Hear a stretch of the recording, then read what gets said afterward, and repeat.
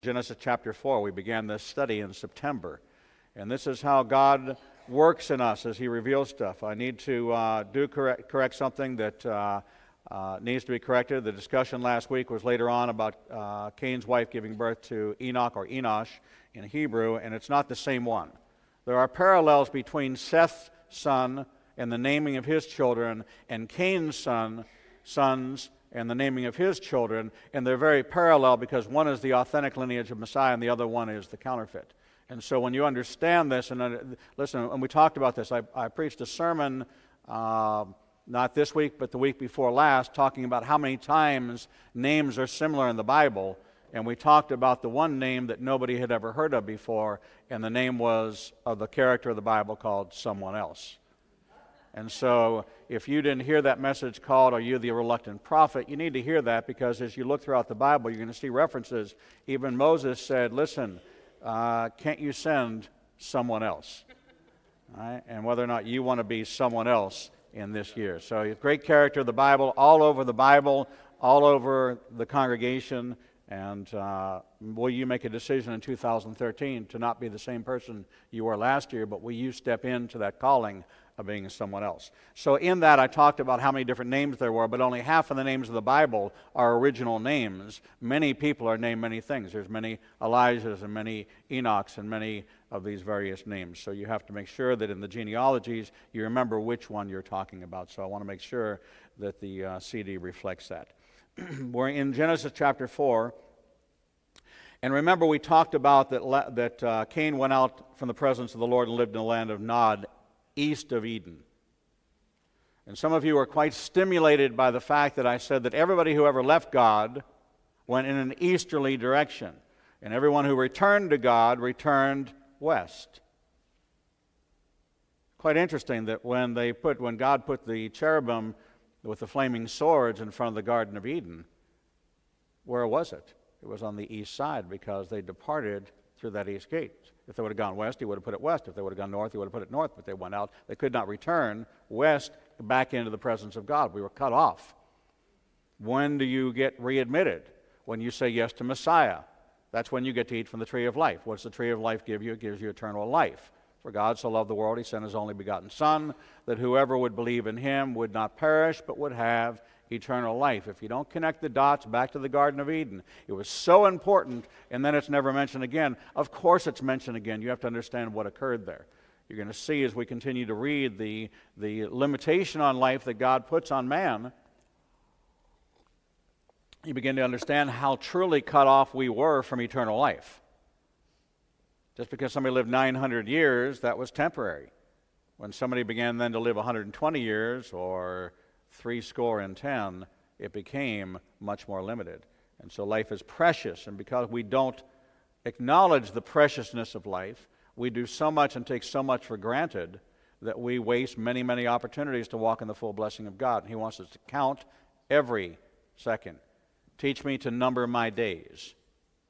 Isn't that what the scripture says? Teach me to number my days. And so this is a, a, pattern. So Cain went out from the presence of the Lord and lived in the land of Nod. Remember, the curse on Cain was that the land would not yield to him. Therefore, what did he have to do? He had to build on the land. He tried to subdue the earth by building upon it. Who made the earth? God. Who laid the foundation of the earth? God. Cain tried to build on someone else's foundation. Was Cain successful at building it? He was not. He had to leave it, and his son took over. He could not finish the work that he started himself, and we'll read about that. And so we need to understand who these people are and what was going on in their life. So we're in the line of Cain. Why do we study the line of somebody? In Hebrew, it's called Toldot, T O L D O T, the Toldot. The generations. When you read in Matthew, you read the generations. When we understand the generations, we begin to understand the layers of civilization. When we go to Israel, we go and we go to Tel Dan. Tel is just a short word for Toldot. The Tel. It's layers of civilization that have been peeled back through archaeological digs that they peel it back, they peel it back, they peel it back, yet never destroying the civilization that was there. So when they peel it back, they peel it back at an angle. so that you may walk in current dirt and you may see the layers of civilization. It's quite fascinating when you walk in the land of Israel and you see, literally see with your eyes, and you plant your feet on layers of, so you walk in ancient paths. When you go to uh, Beersheba, when you go to uh, the ruins uh, up of, uh, of uh, Herod's um, uh, Caesarea, Philippi and Caesarea, the Caesareas around the, uh, um, the Galilee region and, and up north, you're walking on ancient paths and you see things, and different than Greece where you see the ruins, and that's what you're looking at in Greece is ancient ruins. What you're looking at in Israel is not ruins at all, but it's civilization that's, that's, that's uh, identifying biblical truth. The deeper they go, the further down they go, the wider they go, the more they confirm archaeologically what we already have been told in the Bible. If you look online and find the 10 greatest discoveries in Israel over the past year, and every year they do a highlight of the 10 greatest archaeological discoveries, you're going to find that all of them relate to the Bible. All of them. Because what do you match it up to? How do you match up archaeology to what? History? Man writes the history books, right? God wrote the Bible. And so when you find out that everything being discovered confirms what is written in this historical document, that's why it's called history. His story. Not our story, it's his story. And when it all lines up and you begin to marvel at this, when we walk in the rabbi's tunnel underneath the Western Wall, we begin to walk in an area that rabbis of old walked in. When we go to the Western Wall and we pray at the Kotel, when we stand on the Mount of Olives and we look down and we see the Eastern Gate, we know that even below the Eastern Gate, underneath that Muslim cemetery, is the original Eastern Gate. And then we begin to wonder how will God supernaturally open it? Well, He closed it. He says in Ezekiel, he closed it because the prince had already died there. Who was the prince?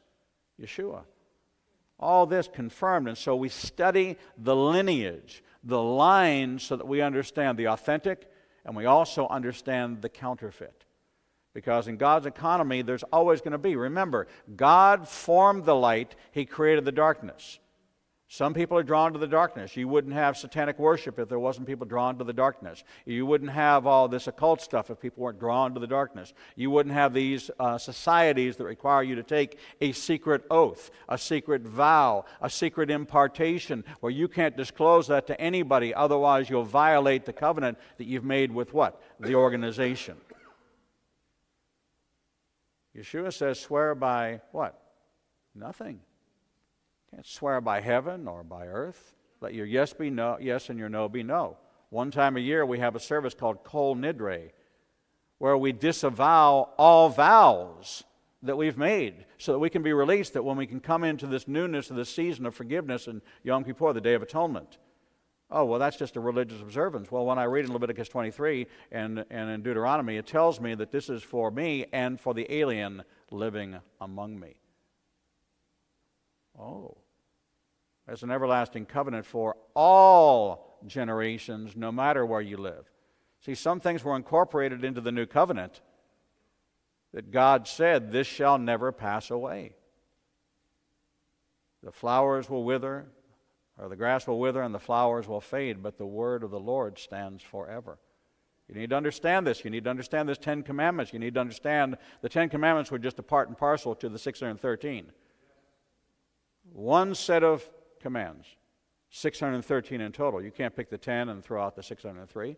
No more than you can pick the Bible and say, well, I'm just going to hold on to uh, uh, the book of Matthew. I'm throwing all the other, other books away because they're irrelevant to my life. It's not the pick and choose. I have the pick and choose Bible, the perfect Bible in my office. It's called the perfect Bible, the pick and choose translation. And it's blank. And you just fill out whatever scriptures you want, and then that becomes your Bible. So we're in uh, Genesis chapter 4, verse 17. Vayadei Cain et Eshtu, Vatahar, Vetaled et Hanak, Vehi bon ir vayikra Shem ha'ir kishem beno Chanak. And Cain knew his wife, and she conceived and bore Hanok. And he built a city and called the name of the city after the name of his son, Hanok. All right? Remember, uh, it's either Enoch or Enosh. And he, uh, and, and uh, they began to be fruitful and multiply. Yes? And so we read in verse 18, Vayavalad lachanak et erad ve'erad yalad et mikuyael umikael yalad et mitushael u mitushael yalad et lamech. And to Hanok was born Irad, and Irad fathered Mehujael, and Mehujael fathered Methusael, and Methusael fathered Lamech. Irad is apparent a believer in God because he named his son Mehujael, God makes me live. But yet, what God? And what evidence did he have of God? And what did he know of God other than his father bore a mark placed upon him by God? Mehujael had a son named Methusael, man of God or man of prayer. And Methusael fathers Lamech, which means warrior or conqueror. This is now the seventh generation from Adam. Lamech takes two, takes two wives, and we're going to read about that in verse 19. And this is the first record of bigamy. First recorded incident of someone taking more than one wife. How interesting. And so we read in verse 19, Vayakach lo lemech, sheti nashim shem ha'achat, adav eshem hashenit sila. And Lamech took for himself two wives. The, names of one, the name of one was Adah, and the name of the other Zillah. Lamech's wife Adah means adorned with garments, gave birth to Jabal, whom, which is the name producer. So we're going to read in verse 20 and understand what this lineage is. So now we look at the, who the father is, we look at who the wife is, and now we look at the what? You would know them as the begats. Right? Isn't that right? These are the begats. When I came to the Lord, I had no idea. I heard that in a sermon, and so and so begat, and I was like, what? the begats, is that like a Broadway show, like the producers? I don't know. In verse 20, Vaitiled Aida et Yaval, Hu Chaya Avi Yoshev Ochel Umikni. And Adah bore Jabal. He was the father of those who live in tents and of those who have cattle. He was the father of all nomads, and to Jabal, who originated the use of musical instruments and a pastoral lifestyle, according to the Mishnah, Jabal was an idol maker. Now, why do we look at Mishnah? Why do we look at extra biblical? Because when we begin to see patterns in the lives of those who would be under the covering of God in a certain way, protection of God was, was Cain, who was a sinner, still under God's protective covering. Yes, he was. Well, what kind of grace was this that he would bear the mark? And we've already identified what that mark was by connecting the scriptures of the sign.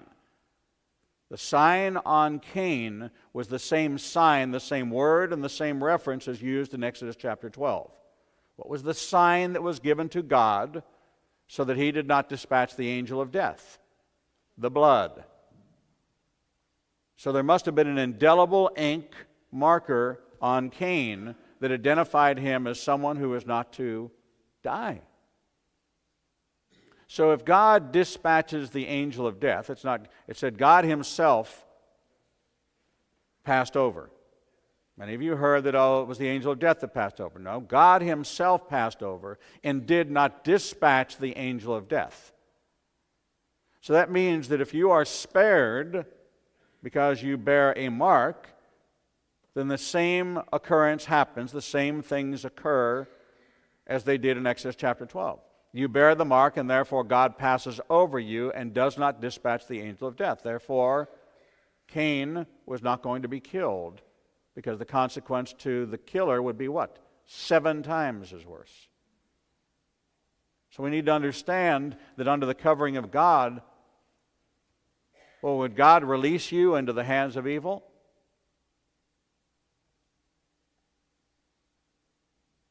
You think not? I don't know. I seem to remember a story of Satan going back and forth, and God says, Have you considered my son Job? He said, This you can do to him. Everything he has you may take from him, but do not kill him. So Job would bear the mark with the instruction of God. He is the God of blessings and He is the God of curses. And if you follow in the path of blessing and make the choice to walk in blessing, you will be blessed. God's word to Cain are the same words to you. Don't you know that if you do what is right, you will be accepted? Sin is crouching at your door and it wants to devour you. But you must master it. You can't master it on your own. It's got to be through the strength and the power and the authority, the anointing of the Holy Spirit that comes only through the shed blood of Messiah Yeshua, where he declares in Luke 18 and 19, I saw Satan fall like lightning from heaven. I have given you the authority to trample on snakes and scorpions and overcome all the power of the enemy. Nothing whatsoever can harm you. Well, if you don't have that covering, Cain had whose blood on his hands? Abel's. So it wasn't the shed blood of Messiah that was protecting him, it was the shed blood of his brother that was protecting him. Why? Because the brother's blood, blood cried out from the ground. When you understand that God Himself wrote the Torah, the Torah is a singular entity made up of what we call five books. The Torah is a set of instructions that God gave to those who are getting ready to enter the promised land. And so when we see that, oh, this sounds so similar to Leviticus 17:11, it's because it's the same author, the same set of instructions contained in the same document. Well, of course it is. If you read the eighth chapter of a book, it should reference characters and events that occurred maybe in the first or second chapter of a book. You wouldn't read a Tom Clancy novel that every chapter is completely different and a whole different set of circumstance event had nothing to do with the other chapter. By the time you got to the third chapter, you go, I'm so confused, I don't know who's who and what's what. Every book you've ever read tells you and introduces you to characters and names and places and dates and times so that you can follow them through to a logical conclusion or a surprise ending. In God's economy, the same author. That means the same style of authorship, the same content, all of it's for instruction. And so when we hear that the blood cries out from the ground, why should we be surprised when we read in Leviticus 17:11 that the life of the things in the blood and the blood for making atonement? Now we should hear the bells go off. Ding, ding, ding, ding, ding, ding. Oh, that was what was going on with Abel's blood. It was the life blood. It was crying out from the ground. So if Abel was to be resurrected, what would God do? He'd put his blood back into his body and lift him up out of the ground. Thus we don't embalm. Thus we don't cremate. Thus, we don't do these things in non believing Jewish communities, non believing in Yeshua. So, the non messianic congregations would adopt that kind of burial method. Interesting, isn't it? But you who are a new creation don't have to be concerned about those things, do you? Because God has already given you your promise and fulfilled it. So if you text me or email me and say, What should I do? Do whatever you want, as long as you believe in the Messiah. So you can be raised to glory, yes? Well, you got to rest on the scriptures. All the scriptures are true. So in Adah bore Jabal, and he was the father of those who live in tents and of those who have cattle. Who do we know today that live in tents and have cattle? Arabs. In Israel, Bedouins. Okay, nomadic tribes, the Bedouin tribes, when you go to Israel with us, we will go down into the Negev desert and we will go to a Bedouin tribe that have a tent, and the tent might be as big as this, this uh, sanctuary. And they will cook us a meal in that tent.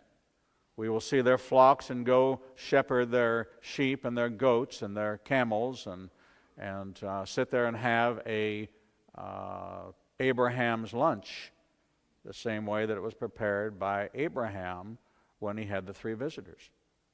And you'll experience that sitting in a desert, sitting in the sun, sitting in your door in the opening to your tent in the new noonday hour, but it won't be in July, August time frame. We'll be kind to you and take you in April, all right, and spare you the 110, 120, 130 degree heat. But you have to imagine yourself, because you know the Bible, what was he thinking sitting there in the noon hour in the heat of the day? What was God stirring in him that he should be awaiting the visitation? So you need to really weigh into these kind of things and put it back in the historical context of, of uh, what you're reading and begin to understand logically and practically what the circumstances of the day were. And understand that God was writing this so you, the reader, could understand what it meant to then and what it means to you now. This is not just a history book where you want to read about uh, Napoleon and Waterloo, and that has no relevance to me whatsoever today. This is a book that has relevance to you today as much as it did at the time of its giving. And this is what we're supposed to find out. But if we don't understand where they were and what they were doing and who they were doing it with, who was Moses writing this for? He's writing it for you and for I. And basically, Deuteronomy sums it up this way For you who were not at Sinai, I give you this instruction. None of us were at Sinai. So I guess we need to heed and pay attention and weigh into it. That's why you need to come to this teaching on the Ten Commandments, because it's going to uh, rock some worlds. It's going to undo a whole lot of stuff and make you realize that what you've been taught is not necessarily what's contained in the Bible. And Sunday school was great, but His Word is greater than Sunday school. And I love all you Sunday school teachers, but we've, we've uh, parsed out 10 commandments and we've thrown away 603. And we need to weigh into the words of Yeshua and uh, understand what the new covenant contains. Very important message. Uh, when God was speaking to me about preaching on this, I said, Are you serious? Are you serious? You want me to preach on the tent? It was almost like the conversation I had with him about preaching on dirt. Are you serious? You want me to actually preach? No, this is like a Sunday school teaching. No, I want you to preach on the Ten Commandments. All right, Lord, I'm going to do it.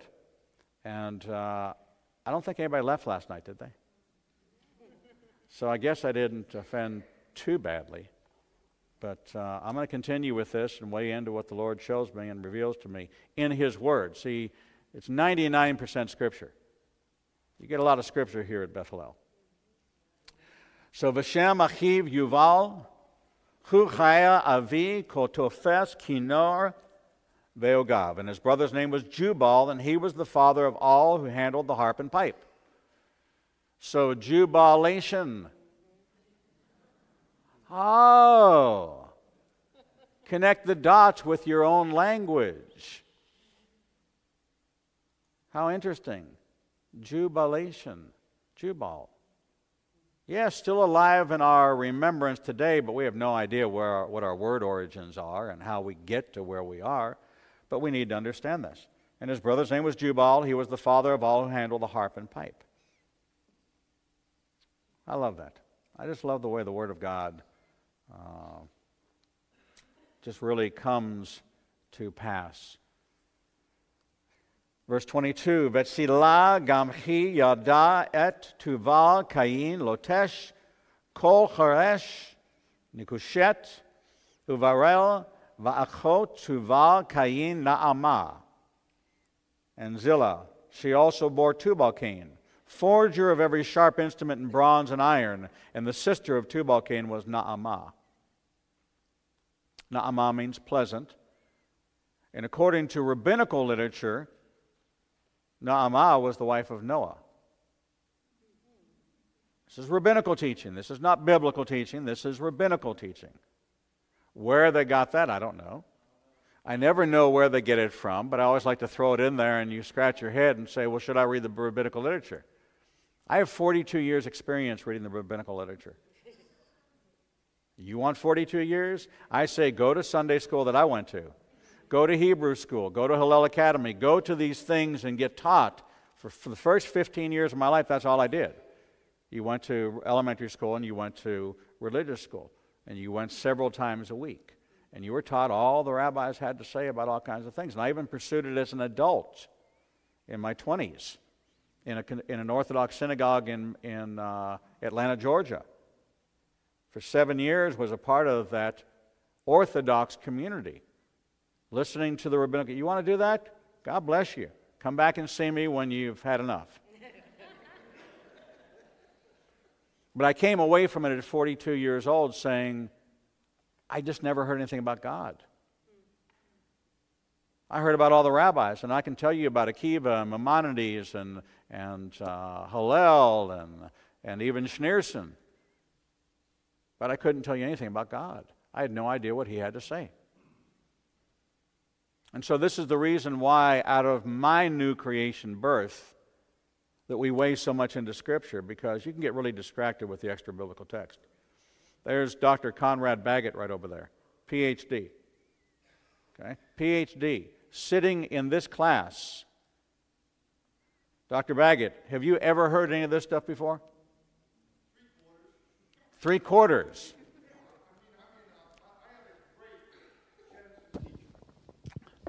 I know some of your teachers.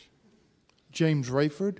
Don't know him, but I knew Dr. Rydelnik. Yeah, well, I know him too. but, but, yes, probably three quarters to two thirds, maybe even up to 90%. But though I never understood the blood thing about the mark, would you repeat that? Sure. When you take a look at the mark referenced on Cain in uh, Genesis chapter, what is it, 3 or 4? Uh, and you look at, at Exodus chapter 12, all right, it says they'll put a mark, a sign on him. Right? It's the same sign. It's the same reference to the sign. What's the sign? You put the blood. So what had to be on Cain? The blood. Imagine now if you had to walk down the street. Well, let's see. We can even see a reference to it in a remote way, and let me give you a real interesting disconnect. You walk down the street of India, and there's a group that bears a mark that nobody has anything to do with. They're called the untouchables. It's in a caste system of people who are identified with a particular mark that says have nothing to do with them. Now, we know that this is birthed out of maybe uh, racism, or it's birthed out of a hierarchy, or birthed out of, or is it, does it have a biblical foundation in its own way? How about the lepers that had to cry out, unclean, unclean, so that people would part from them? Imagine what it is that's on them, what sign they bear. Well, they bore bandages and, and decay and things on them. It's why when Miriam fled and was put outside the camp that it was obvious what was going on with her to all she passed, but yet it was also obvious when she returned what had happened to her, the healing of God. And so we see these things that there are marks and there are signs. What is the sign of you being a believer? Anybody know? The Shekinah glory of God deposited in your heart. So let your light shine that man might see your good works and bring glory to your Father in heaven.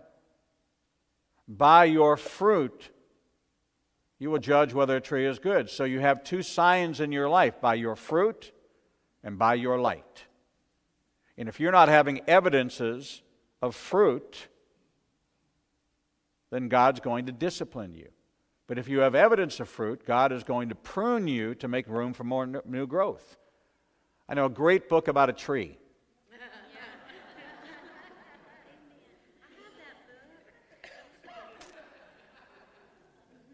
I liked it. The Lord seemed to like it. He gave it to me.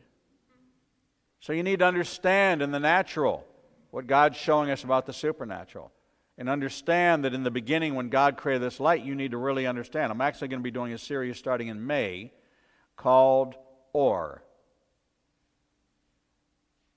It's a Hebrew word for light. And I'm actually going to preach on it for three months. Just light. You say, How can you get that much out of light? I don't know. Ask the Lord. He's the one that told me to do it. So, starting in May, you'll be surprised at that, at that series. But uh, God's doing a great thing, and so you need to understand this. So, you need to understand the mark, the mark you bear as a believer. You try to wear outward adornment. Maybe you wear a Star of David. Maybe you wear a cross. Maybe you wear a Star of David with a cross in it. Maybe you wear a grafted in. That's not your sign. Imagine if somebody overhears you in the grocery store. That's going to be your sign. Are you a blessing or are you a curse? We all bear a mark. But how do we demonstrate it? How do we show it to the world? How do we unveil it to the world? If people were to describe you, and I think I shared with you that, uh, and these are called rabbi trails, but it's important that you know. when we were at the rabbis' conference, and Daniel Harkavy was, uh, uh, he is a, uh, in the corporate world, he was a corporate leadership development person. And he's now moved his focus and his practice to developing ministry people, leadership and ministry, healthy congregations, healthy congregational leaders. Uh, mega pastors sit under him to learn leadership. And uh, one of the things he said was, You need to write your own epitaph today, your own eulogy today. What will people say about you today? And then you need to match that up to what you want people to say about you and begin, living towards planting the seeds in your life. If they say, Well, he was. Uh, you know, he was great in the pulpit, but as a dad, he was the worst dad. Well, you need to fix that. And so he gives you this exercise of doing not a death plan, but a life plan. He said, Imagine what people walking by your coffin will look down and say about you. And I told you what I told him I wanted them to say. I wanted them to say, Look, he's moving. but what do you want people to say? And how will they say it if you don't start living like that? Don't you know if what you, if, if what you do is right, that it will be accepted? This was the message to Cain. This is the message to you. Don't, won't you be accepted? It's not, it, he didn't say, won't it be accepted? He wasn't talking about from one offering to the next. He was talking about your acceptance, not your gift. The whole purpose of God was for you to be accepted by God and conform to His patterns and to walk in His ways. And He gave us examples of people who didn't walk in His ways and the consequence. Yes, He is a generous and gracious and loving God, but He is a jealous God. He is the God that's introduced us to blessings and curses. We can't just walk in this, oh, I'd rather talk to Yeshua because He's so kind to me. If we fail to understand that He even says, in the end, everything will be subject to the Father, including the Son. Yes, it's all about coming to the Father through the Messiah. But if we don't really have a full grasp of God's plan, it was God's plan in the beginning, and now He gave a path through the Messiah. I've told you before, when you're talking to me, you're not talking directly to me, you're talking to me through the air. When you're on the phone with me, you're not talking to me directly, you're talking to me through the phone. When you're talking to the Lord, you're talking through Messiah. No one comes to the Father but through the Son. It does not stop with the Son. And so those who have been praying to Yeshua are missing a little bit of the message. And we need to understand that. The power and authority comes through the shed blood of Messiah to give us access to God. And therefore, by giving us access to God, the glory will never fade from us like it did from Moses. Because God placed His glory on Moses, God has deposited in you His glory, and therefore you should understand this deposit in your heart in this light that can never go out. It can never fade. It's as bright in you as today as it was the day it was deposited in you. But if you've covered it up with clothing and with, with sin and with dirt, it's time to clean it, to wash it clean, and let it shine. And this is the message of God. This is a message contained within this, these passages in Genesis. And we need to understand the message to us today, as relevant today as it was when it was written. Vayomer Lemech, Lenashav, Shema'an, Koli Neshai Lemech Ha'azena Imrati Ki Esh Haragti Lefitzi veyled Lecha Burato Rati. And Lamech said to his wives, Adah and Zillah, Hear my voice, you wives of Lamech. Listen to my speech, for I have slain a man for wounding me, and a young man for hurting me. Kishiv Atayim Yukam Cain Velamech, Shavim Veshiva. If Cain shall be avenged sevenfold, truly Lamech seventy and sevenfold. Verse 25, Vayida Adam od et ishtu, Vataled ben Vatikra, et shmo, Shet kishat li, Elohim zera achir, tachat chevel ki harago kain. And Adam knew his wife again, and she bore a son and called him Seth. For God, said she, has appointed me another seed. For God, said she, has appointed me another seed instead of Abel, whom Cain slew. Third son of Adam and Eve. Seth means appointed or foundation. How interesting that Cain would try to build on another man's foundation, but God Himself will provide the foundation. Accidental? Are names just randomly thrown into the Bible to give us no insight in the plan of God? Is your name? How many of you? I want you to look around now. Look around this room. How interesting that on the eighth day of my life, I was given the name Avraham Mendelber Ben Hirsch. Avraham. Not Abram, father, but Avraham, father of many. I have no biological children. None. Zero. Zip. Never have. No biological children. I have an adopted daughter and a stepson. I have no biological children. How then could God fulfill his naming of me Avraham? Anybody ever see those kids run up here on Friday night? Look around you, spiritual sons and daughters, spiritual mothers and fathers, a family that is so great and so numerous that I am overwhelmed by it. Those who sit in my office and counsel with me every Wednesday and Thursday, and people ask, when can I have an appointment? Any Wednesday or Thursday, I'm always available. Wednesdays and Thursdays. Maybe not this week, but the next, there'll be an opening. You need to understand access. You have access to your Father in heaven. You have access to who God has appointed to be the chief servant here at Bethel. Not the rabbi, not the overseer, not the pay homage to, but the chief servant. Isn't a father a servant to his family? Isn't that how he loves his wife, is by serving her, esteeming her more than he esteems himself? Isn't this how a shepherd goes out in the middle of the night to save the sheep? Who would leave the 99 to get the one? I tell people in the new members class listen, I will leave the 99 to get you, but when you're back with the 99, do not get upset with me when I leave you to go get that one. Oh, how interesting. I blew by 250 people to get to you the day you walked in the first day. To greet you and to welcome you here the first time and to shake your hand. I went past all the 99 to get to the one. Please don't get offended with me.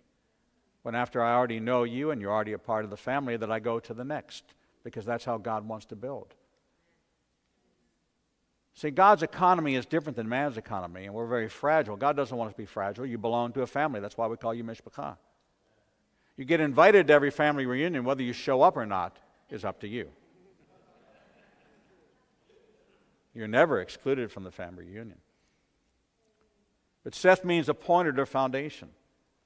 And Seth would be the seed son to continue the messianic bloodline the seed son. Wow, I remember a seed. I remember a seed in the Garden of Eden that God spoke about. You mean he continues to talk about the seed, the seed, the seed, the seed, the seed all the way through? Because God's plan is clear if we look for it. He is the God of decency and order. And what he introduced to us in the old will fulfill in the new. What he says will take place, we have to find the incidences where it takes place, and we can plot it and chart it. He tells us nothing by accident. And even when we don't see the connection between scriptures, we think, oh, this is just a one off. There is no such thing as a one off. It's all connected either to the heart of the matter or to how we are to live. And in verse 26, Ulishet gamchu yulad ben, vayikra et shmo inash az hukal Likro Beshem Adonai, and to Seth. To him also there was born a son, and he called him Enosh or Enoch. Then began men to call upon the Lord by name. What name?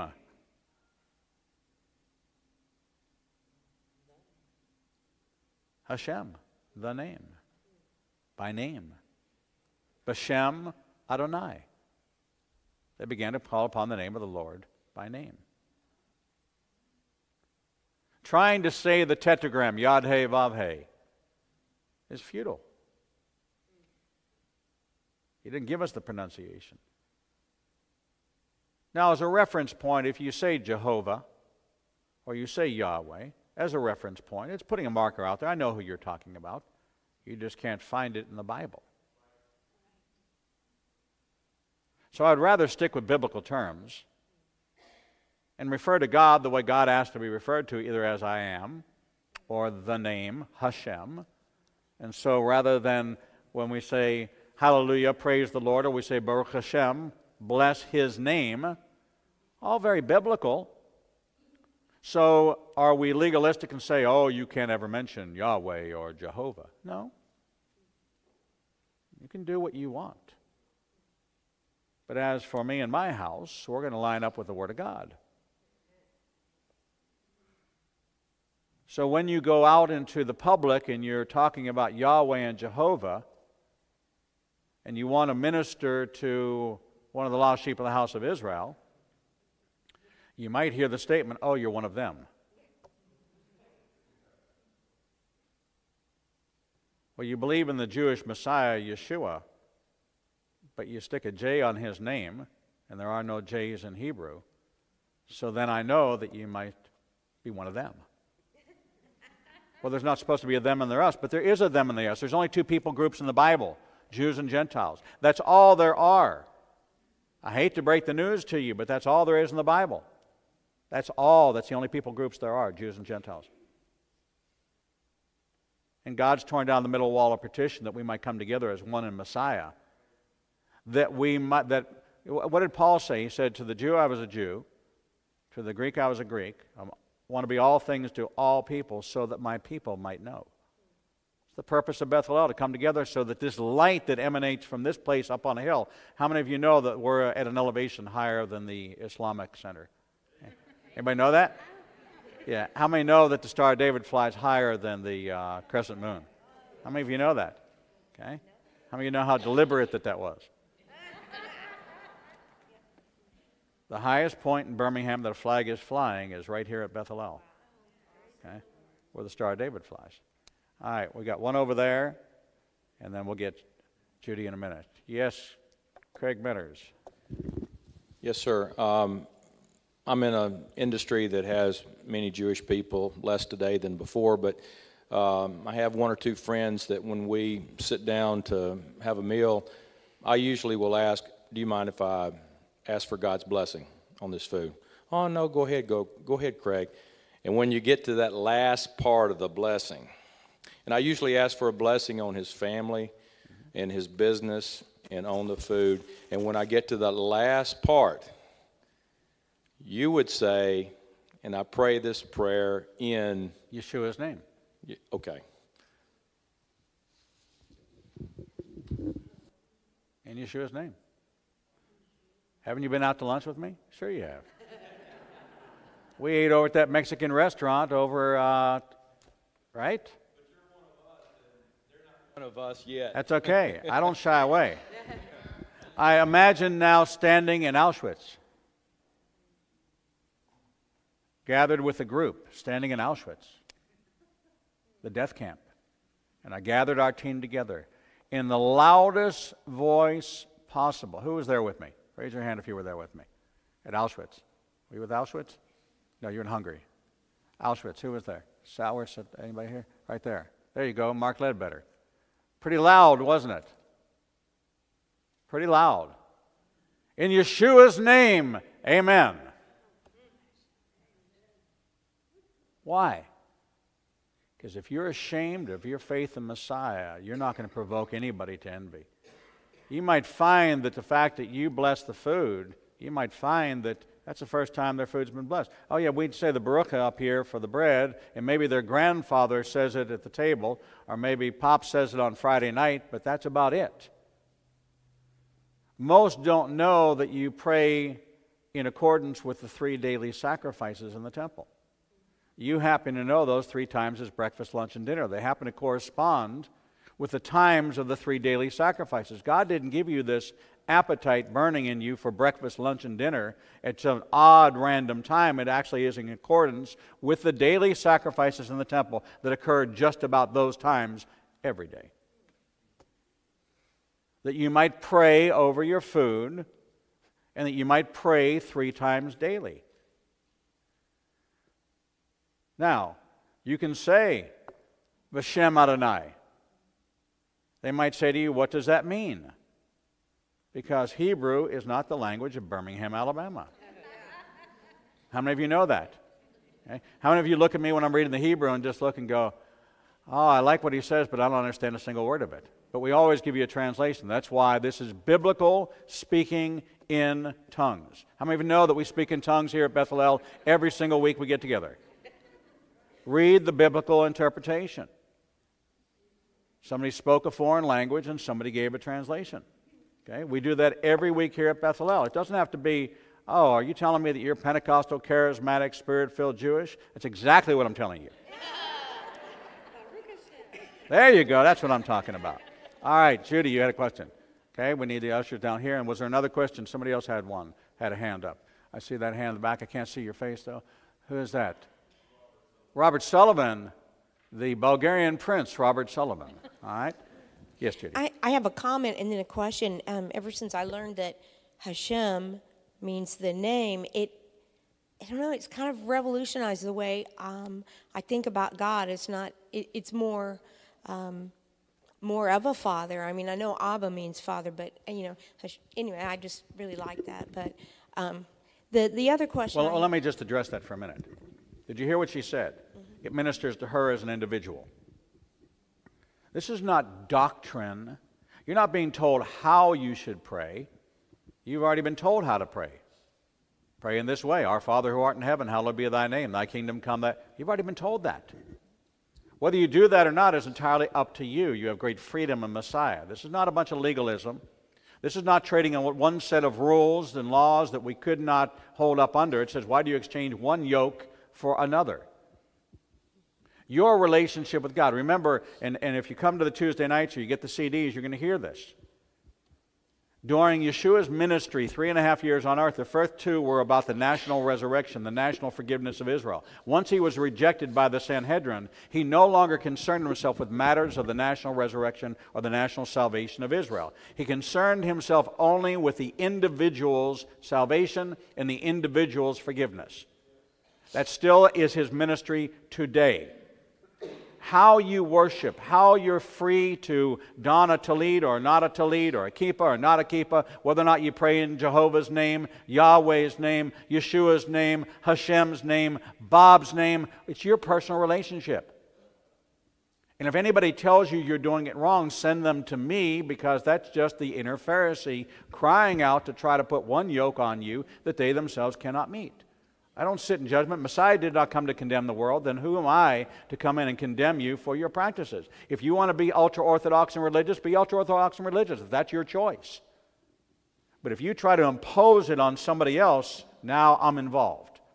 What you do as an individual is between you and the Lord. When you try to impose that on somebody else and say, You're praying wrong, you're doing this wrong, then you got me to contend with. Because that's not biblical.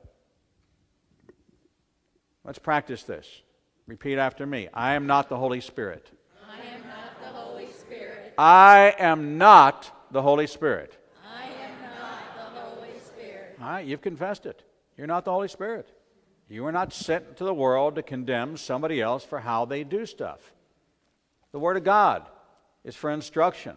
How many of you follow every direction on the box? How many of you have ever put something together and had parts left over? All right then obviously you don't follow all the instructions, do you? Okay, that's why we have grace and we have the shed blood of Messiah so that we don't have to. Our salvation is not predicated on everything that we do in obedience to a set of laws that we cannot fulfill. That's why it's called the new covenant. But there is a measure that we are going to be measured by, and we need to understand that as well. All right, now for your question. Okay, the question is um, I've, I've heard all this, the term the Sethite doctrine or Sethite theory. I think it's like a kind of like replacement theology or something like that. Can you? What does that, you know what they call that? Heresy? Biblically? Heresy? No, they call it strange fire. Oh, okay. Strange fire. What happened to the boys that brought, they said, don't bring strange fire into my house. Okay? You know, when you start talking about ites, Yeah. okay? You got the Hittites, the Jebusites, the termites, the parasites, uh, uh, you know, all the, anything that you hear the word doctrine, theology, this kind of thing is man's effort to compact a teaching, put their name on it, and introduce you to something that says, I understand this better than you, and you need to think the way I think. Guess what? The book that sits out on that table has my name on it, meaning this is my opinion. I'm very clear about this this is my opinion of my understanding of the Word of God. If you want to take this instruction, praise the Lord. But if you don't, praise the Lord. This is not some new theology. This is an interconnection of Scripture where God was showing us things in the natural, that He was revealing supernatural truths. That's great. You should study to show yourself approved. But what happens is people get bumped off the path. How many of you feel like you know the Word of God? Good. That means none of us. Now, how many of you want to depend on somebody else's opinion for your instruction? How many of you, when you grow older, want somebody to feed you? Isn't that your desire? Oh, I just want to be in a chair and somebody's going to have to feed me. Isn't that your desire? No, but why do you do it spiritually then? Why do you allow man to spoon feed you what he wants you to know about Scripture when this book is available to every one of you? And God will give you revelation that's your revelation because you asked for it. Don't rest on my revelation. God revealed stuff to me I'm not even allowed to share with you. God will reveal things to you about His truth in your life and your understanding. Go get it. It says, if anybody lacks, lacks wisdom, ask for it. There's great books out there. Dr. Baggett had to write something in order to get his PhD. Right? Dr. Rankin had to write something in order to get his PhD. How many other PhDs we have in here? You all had to write something in order to get your doctorate. But they will tell you that this was their view of what this was their theory, this was their hypothesis, and they proved their hypothesis. It might have been 10, 20, 30 years ago, and their understanding now is completely different than it was at the time they presented their argument. But the argument was a good, solid, rational argument, and they said, okay, you've demonstrated your ability to think like a PhD. They don't always have to agree with your hypothesis or with your results, but the fact that you logically shown them and demonstrated them and could defend which was what it was about. Rabbi Sasha had to go defend his doctorate, and Rabbi Sasha's doctorate was in structural engineering, just so you know, using vines instead of rebar to strengthen concrete. And prove that vines were a better solution to reinforcing concrete than rebar. And he designed an entire structure using nothing but vines and he was able to prove that the load that could be borne by vines, because they had more flexibility and they were fibrous as opposed to rigid like rebar, was a better solution for construction by using vines. That's the brilliant mind he had. And he defended that. And in, in uh, the Soviet Union, former Soviet Union, you defend it by taking 16 whiteboards. And you start at the beginning of the board and you begin to present.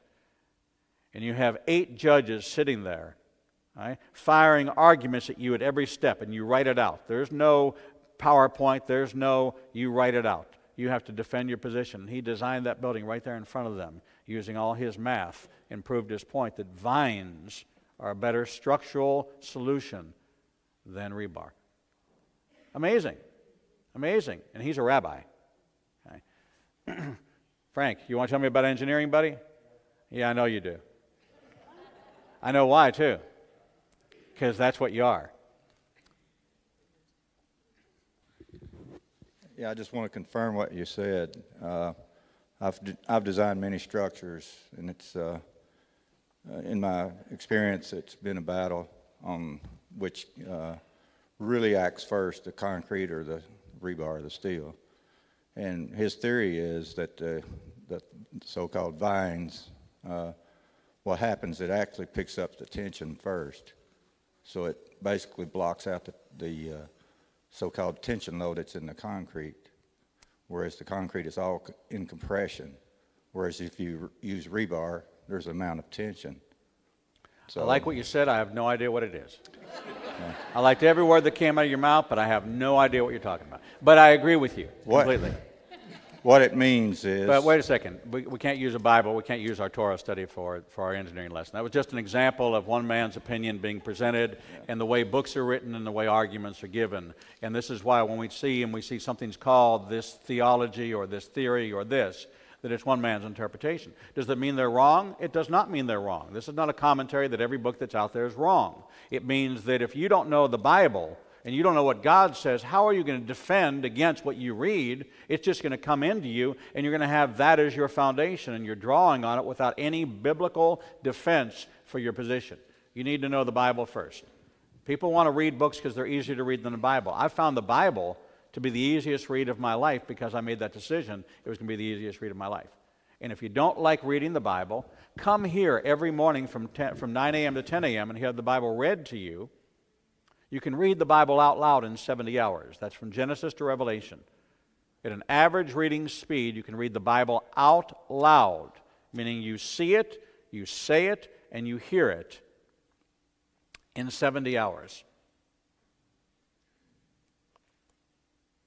It's pretty amazing, isn't it? Yeah. Right? People tell you, oh, well, you need to have this one year read- Bible reading plan. Here at Bethel we read the Bible out loud four times a year. Out loud. Come. Come sit with us. And so Seth means appointed or foundation. He'd be the seed son. Seth gave birth to Enoch, meaning human frailty. Human frailty. In Enoch's day, man began to call upon the name of the Lord, a Hebrew idiom for regular religious worship in a public way. Calling upon the name of the Lord. What do we do here when we gather together for worship? Now becomes a public. Right? The doors are open, the windows are open, we're gathered together in assembly. So there was a form of regular worship, and it's idiomatic. I mean, this is what it came to be believed as in the Jewish world, as to what he was doing. So when you say Baruch Hashem, when you say Hallelujah, when somebody sings and you go Hallelujah, what are you doing? Praise the Lord, calling upon the name of the Lord. And so we need to understand that. All right, we're moving into chapter 5. Uh, and and uh, what happens is, is what God does. He gives us a Toldot, the book of generations. Why? How many of you know where your family is from? How many of you care? Okay, I cared. I took a whole team to Odessa to buy into my pursuit of where did my family come from. I thought I was searching for the hidden mystery of uh, the Aaron Prices and the Stearns and all the people in my life with those great Jewish, strong Jewish names. Because I'm a Walker, but that was changed from the Hungarian name as my father came here and the family name was changed.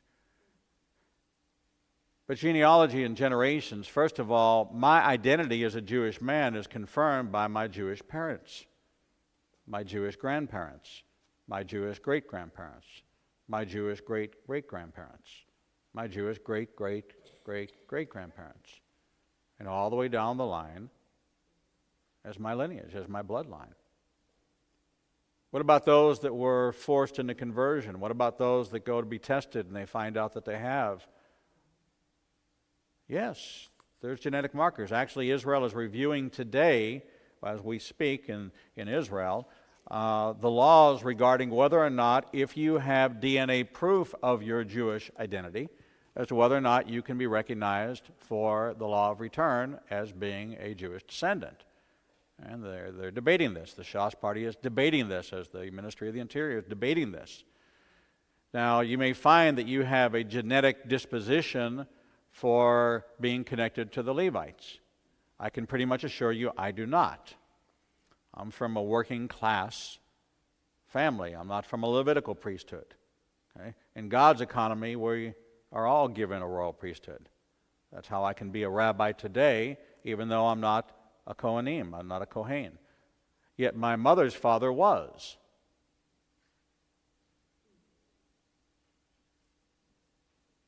My mother's father was. But the lineage of the Levite and the Kohen passed to his firstborn son, not to his daughter. And therefore, although my grandfather was a Kohen, I am not.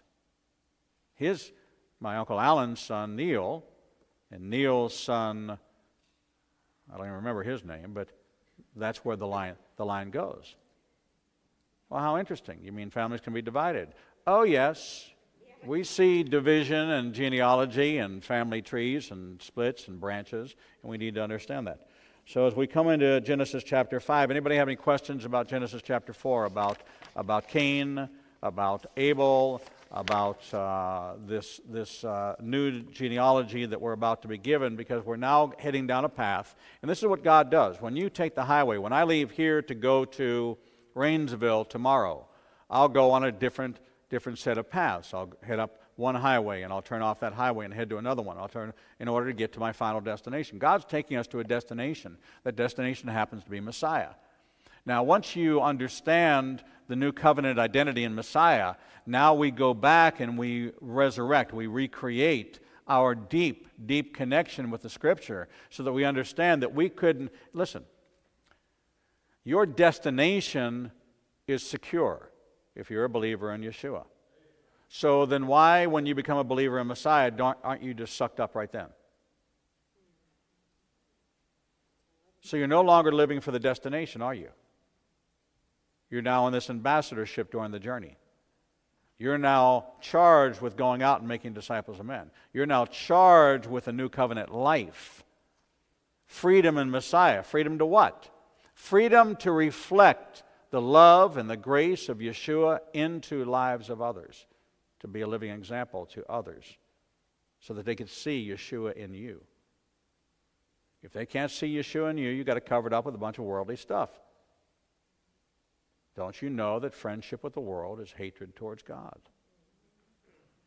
You've been a call to people set apart. You don't have to be a bloodline Levite in order for you to be given a kingship and a priesthood from God because your DNA, your spiritual DNA, has been changed. You can't be born again of the flesh, meaning if you don't have Jewish DNA, you don't have Jewish DNA. But you can be born again of the Spirit because that was the message that Yeshua preached to Nicodemus. And so you're a new creation. The old is gone, the new has come. And now your spiritual DNA has to be Jewish because you're grafted in and you draw upon the nourishment of the Commonwealth of Israel.